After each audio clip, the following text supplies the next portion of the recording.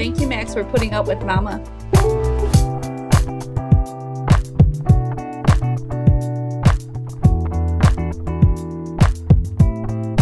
Taking pictures of you.